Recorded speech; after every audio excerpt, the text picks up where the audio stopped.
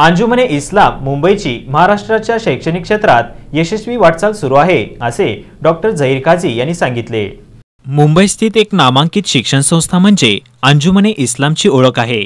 या संस्थेमध्ये तांत्रिक शिक्षण घेऊन विद्यार्थी जगाच्या वेगवेगळ्या देशात आपली सेवा बजावत आहेत. या संस्थेमार्फत महाराष्ट्राच्या वेगवेगळ्या जिल्ह्यात तांत्रिक तसेच शैक्षणिक संस्था चालवले जातात. सोलापुरात नवीन अभ्यासक्रम सुरू करण्याच्या हेतूने व त्याची पाणी करण्यासाठी पदाधिकारी सोलापुरात आले आहेत. यात अध्यक्ष डॉक्टर झहीर काझी उपाध्यक्ष डॉक्टर अब्दुल्ला शेख खजिनदार मोहेश नियाजीवाला संचालक अख्तर रंगूनवाला यांचा समावेश आहे.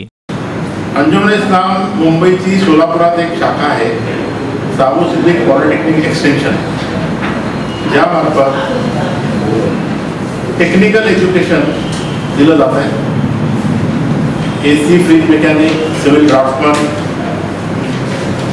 आतापर्यंत जवळजवळ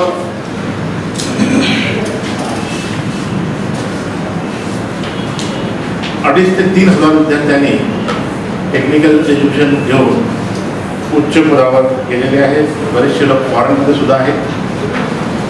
त्यांचा जो प्लॅन आहे सोलापुरात की या सोलापूरच्या वाता शैक्षणिक वातावरणात जी काही वाढ करायची आहे जेणेकरून येथील गरीब विद्यार्थ्यांना त्याचा फायदा होईल. भारत सरकारने